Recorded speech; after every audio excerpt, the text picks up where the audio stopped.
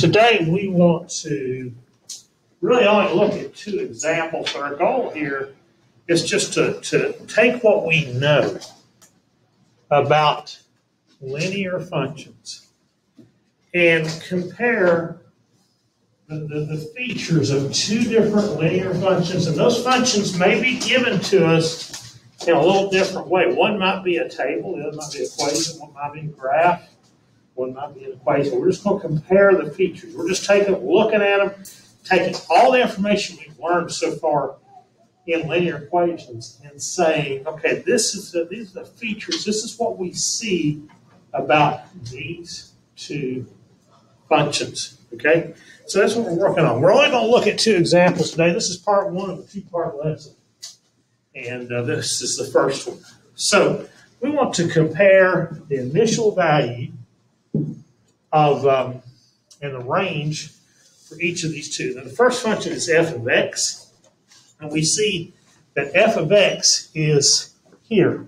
It's given to us in a table. And then the other function is g of x. And it's given to us in an expression or equation. It is g of x is equal to x plus 6. All right? So, reading the instructions, that's the stuff that's in bold print up there. I'm asked to do a couple of things. First thing I'm asked to do is compare the initial value and the range of each of these two functions. So I want to know what the initial value is and what the range is. Now, it tells me in the problem that the domain, here's the word domain, the domain is a set of all real numbers between 2 and 5. And what we see in our table is our domain starts with 2, it ends at 5. Okay? Here's 2, here's 5. And what that statement says, all real numbers, it means everything in between. They just gave us four points in the table. But remember, a linear function will graph as a line and it represents all the points. Okay, so so we have a table with four points, and, and we've got the domain going from two to five. Remember, domains are x or input. We've also got some y values. So so that makes this one kind of easy. My initial value, looking at the table, okay, my initial value is the first one. It is this one here. So when x is 2, f of x, or y, has a value of 5. So my initial value is at 2, y is 5. That's my initial value. What am I'm asked to find.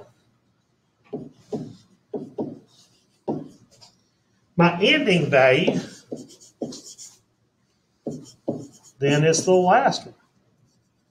It is the last of the domain, or 5.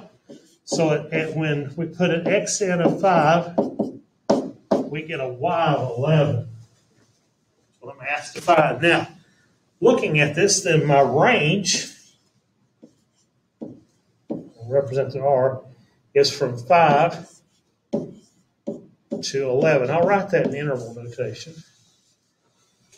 I also could write that in uh, using inequalities. I could say, well, 5 is less than, my range is 5 is less than or equal to f of x, or my y value, which is less than or equal to 11. That's my range.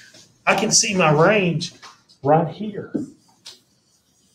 Okay, 5, 7, 9, 11. So it goes from 5 all the way to 11. My y values go from 5 to 11. Now, it's not as obvious for my g function. Now, remember, I know that my domain for the g function, because it tells me in the problem, that it goes from 2 to 5, just like the domain does for the f function. But to find my initial value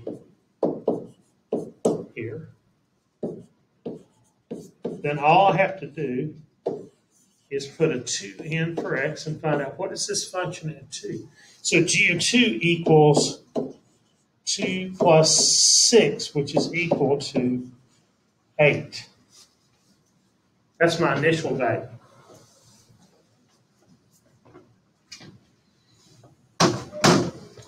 And my ending value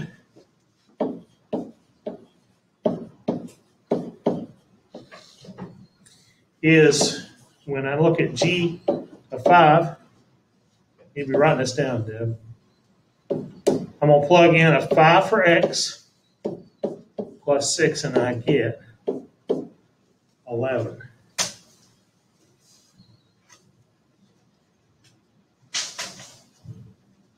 So in my range here, the range is goes from 8 to 11. In interval notation, I can, well, my range is between 8 and 11. And I can also write it this way 8 is less than or equal to, uh, this is g of x, which is less than equal to 11. In other words, my range value, my output values, my, my, my y values, my dependent values cover the interval of 8 to 11. So if I look at those two, then I see that, uh, that the f function, f of x, has a small, has a, excuse me, a larger range, right? If you look down the y-axis, it starts at 5 and goes to 11, whereas the g 8 to 11. Yeah. So it's a, it has a smaller range.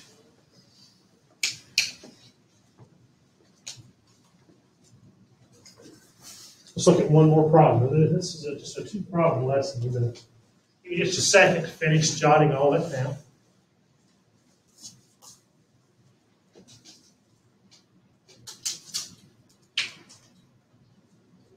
Actually have a couple more problems on you know, this presentation that looks just like this, so we're just going to kind of bypass those today. We'll come back to them on Monday when we look at part two. But I want to do a similar kind of comparison between two functions, where one of those functions is a graph, okay, instead of a table. So look at this one, please. Here we've got the function um, F and G, and uh, we want to compare their domains, their ranges, their slopes, their y-intercepts. now this function in the graph, well, that is g of x now. Okay? And let's look at g of x first.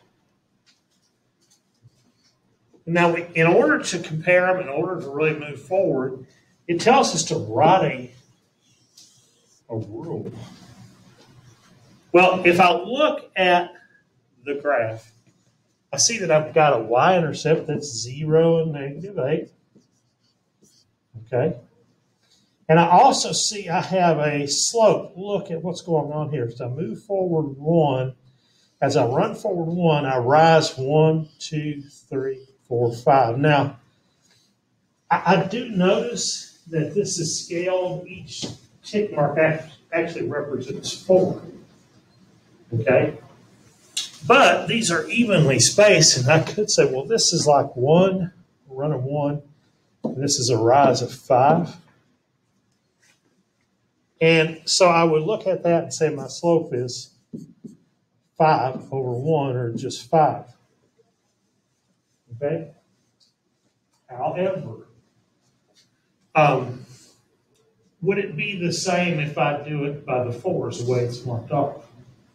Well, check it out. If I look at it this way, so this first tick mark actually represents four. So that would technically really be four.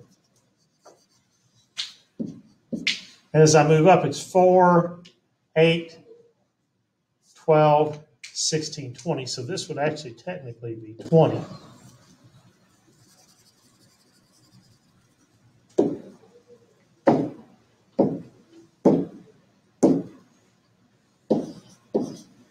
Okay, so if I write that as a slope, that would be twenty over four. What is twenty over four? Uh, yeah, so the same. So, you know, it's because those tick marks are proportional and, and I can just count tick marks and so it actually kind of reduces my fraction for me. So that, that'll work. So if I write a rule, here's my rule.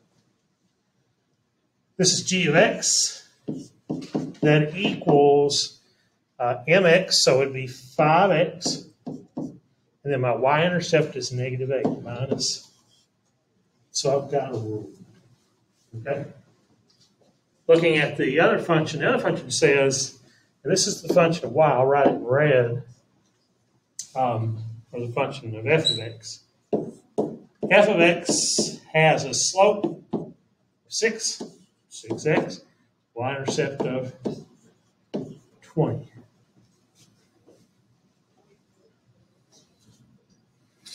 So if I go back to my graph and I look at the graph, remember that my x values, what, what are my possible x values? Um, this doesn't have a beginning or end because my line has arrow, which means it's going on forever. So my domain here, should write it in blue. Uh, my domain, my x values, this line goes on forever, so my domain is all real numbers. In other words, everything. Guess what my range is doing too? Does it go up forever and down forever? Yeah, so my range two is all real numbers. And if I look at the f of x function, I realize that there's no limitation here in my domain. I could plug any x in I want to. It doesn't say not to. So my domain two is all real numbers. And my range will give me every possible value for y. So it two is all real numbers. All right, so so far we found our domain, we found our range. We've identified that in this one the slope um, is 6 and the y-intercept is 20. And on the function of g, the uh, slope was 5. The y-intercept was negative 8. Does it ask me to find anything else? I don't believe so. So I, I, look at these lines and I see that this one has a steeper slope. Six is steeper than the slope of this line, which is five. I know it's steeper because six is a larger number than five. I also know that this is vertically translated up the y-axis 20. So we'll find its location much higher on the y-axis than we do this graph where it's lower. It intersects the y-axis at ne- negative 8. So those are the features we've already learned about linear equation. Helps us to compare them. Helps us to look at them. At some point, these two equations would intersect because this, one has a steeper slope than the other. They have to cross at some point. And later on, we're going to find out that where those two lines cross will be of some serious interest to us. So that gets us started comparing um, a couple linear functions.